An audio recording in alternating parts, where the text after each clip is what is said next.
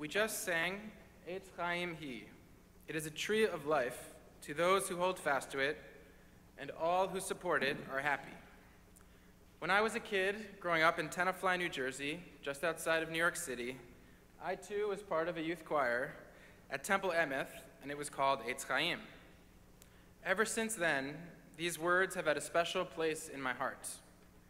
It's a metaphor that seems to do justice to the otherwise impossible to summarize the scope, span, and sustaining spirit of Judaism and Torah.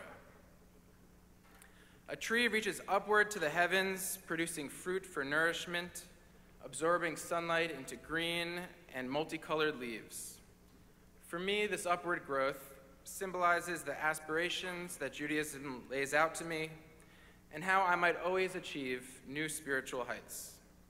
Of course, a tree also digs deep roots, establishes its history, which gives it the power to withstand storms and winds.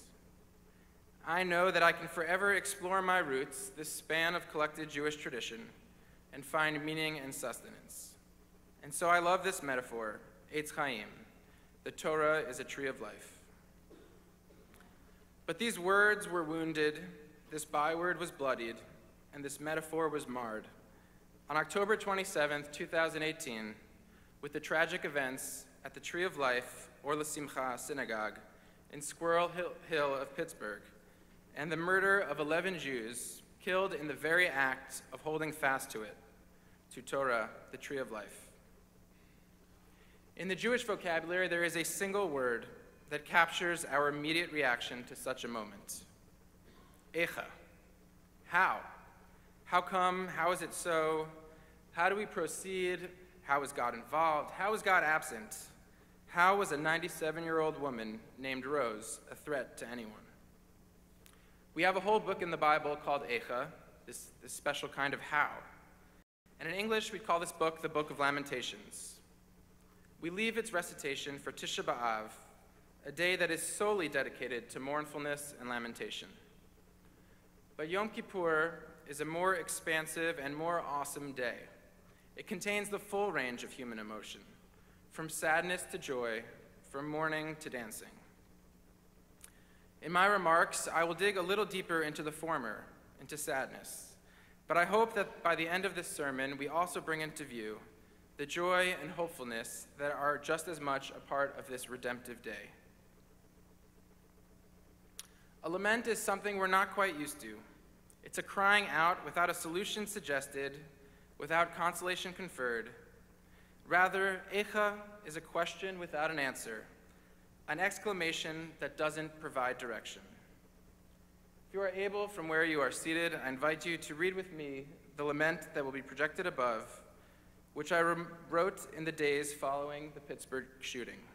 Like our classic laments in his acrostic spelling out Tree of Life. Torah is a tree of life to those who grasp it, yet all who hold it are hated.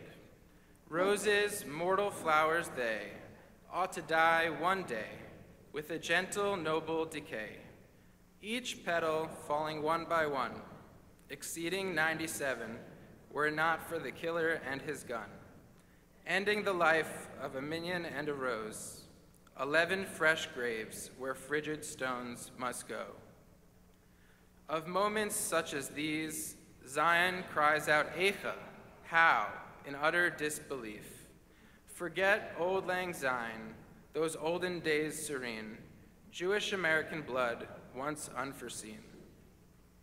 Life, liberty, pursuit of happiness unalienable rights, self evident truth.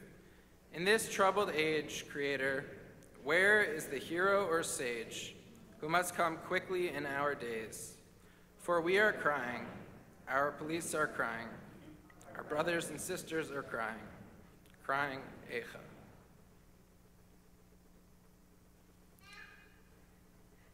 Another cry.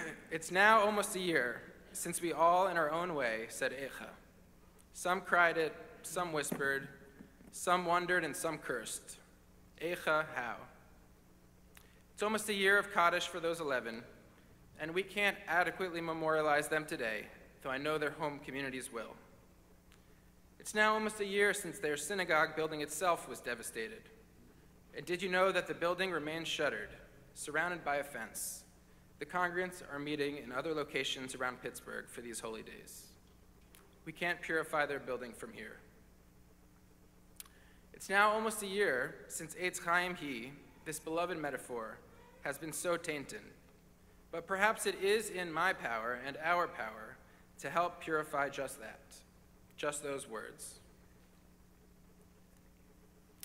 The Talmud records that in the ancient temple ritual, a scarlet thread would become white if the Yom Kippur ritual was successful. So, how do we make our bloodied tree of life return to its vibrant green?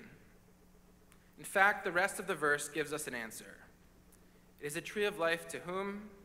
It's a tree of life to those who hold fast to it. We need to hold fast to our Torah. In my moment of lament, when I wrote that poem, I asked for a hero or sage who could, perhaps like that ancient, powerful temple priest, take care of this for me, take care of it for all of us. But a year later, we know that an act of devastation can only be answered by a thousand acts of chesed, a thousand acts of kindness. Our community in Pittsburgh, in New York, and I know here as well, received and gave 1,000 acts of kindness after the tragedy. In Pittsburgh, Jew and non Jew alike, sports teams of, of opposing demeanor, they rallied around the, the slogan, stronger than hate. That together, America's loving portion is stronger than its hateful.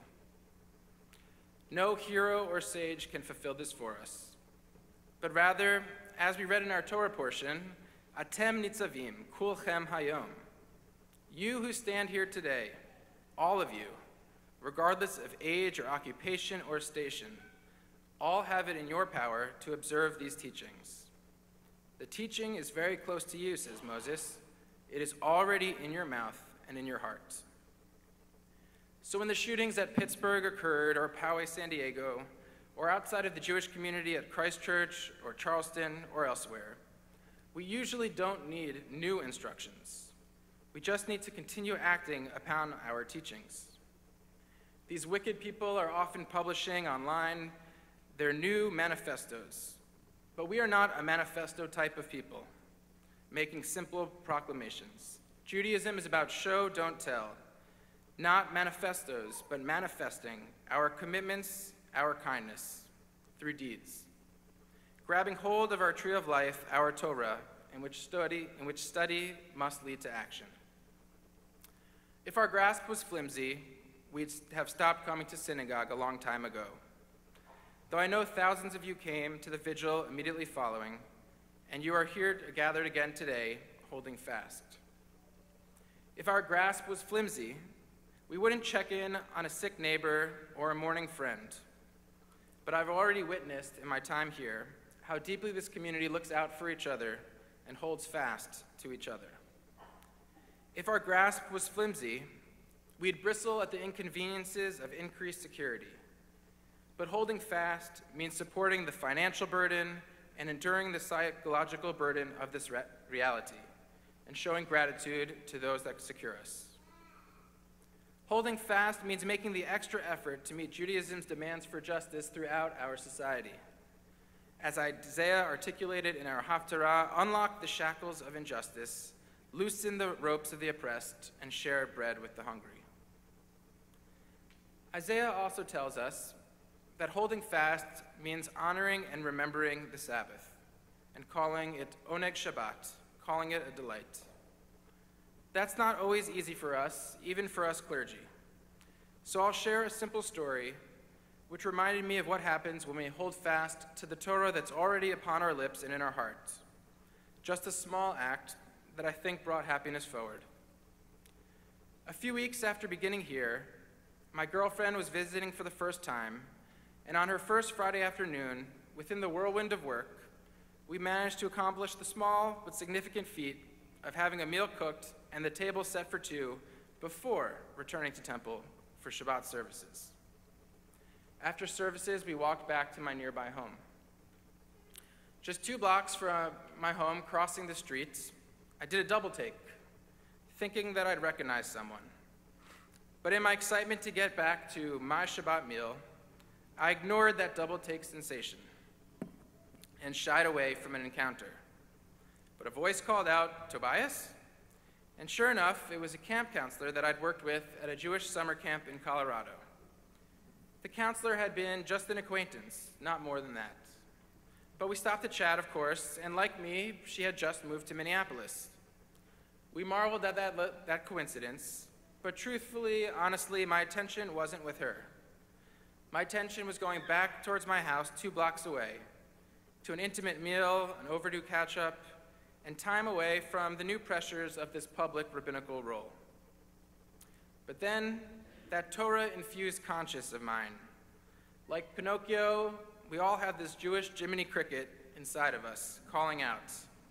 Moses says it a little differently. He says the instruction is already upon our hearts and our lips. So mitzvot, commandments, Jewish values start flying across our brains at these kinds of occasions. Some also call it Jewish guilt. But these mitzvot, these commandments, these values of hospitality, of welcoming someone new to town, of making the Sabbath a delight and sharing Shabbat dinner, they came into my mind. And so I grabbed hold of that little piece of Torah. I invited her to join us for dinner at that moment, and we reset the table for three. It was a very small act, but most of life is responding to small moments, thankfully. Small opportunities. I didn't solve a great ethical dilemma, didn't give some great sum of money to tzedakah. But now that Shabbat guest is no longer just an acquaintance, but one of my first friends in the cities. She's been back for another meal, she came here for Rosh Hashanah, and by grabbing hold of this little piece of Torah, it brought more joy into my world, and I think to hers as well. The rabbis are famous for saying mitzvah goreret mitzvah. A mitzvah leads to another mitzvah. Acts of loving kindness self propagate, and joy ripples through a society. Now, earlier I promised that Yom Kippur is known to tradition as a joyous day. In fact, there's a comparison between Yom HaKippurim and Purim. Not going into that connection, I'll go into another way that the rabbis spell out this joy. The Talmudic rabbis said that there's simply a joy inherent with the possibility of repentance and finding forgiveness. But an earlier stage provides a specific illustration of what joy used to look like on Yom Kippur. Rabbi Shimon ben Gamliel records the following tradition. There were no days of joy in Israel greater than Tu B'Av, Jewish Valentine's Day for short, and Yom Kippur. On these days, anyone seeking a mate would dress in white gowns and go out into the fields. The gowns they were wearing, they all had to be borrowed. No one could wear their own gown. This way, no one would know who was rich, who was poor, who was from royal or priestly descent, and who was a common Israelite. These white wearing singles would go dance in the vineyards and meet their suitors. Who would think that the day of reckoning could have such romance? That the earliest JDate occurred on Judgment Day, and with a flirtatious dance. Now we do things a little bit different at Temple. It's just us clergy wearing these white robes and the Torah scrolls themselves, but we won't do any flirtatious dance, I promise. That comes in a week with Simchat Torah. But on this day, joy does come into focus in our community.